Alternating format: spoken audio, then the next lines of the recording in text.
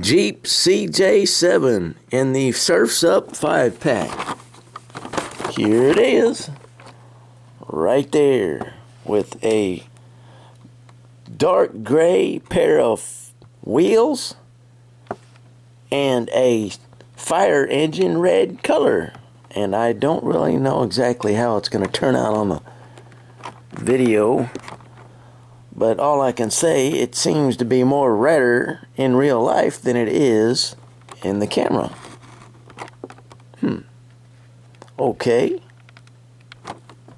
Dokay. Smokey.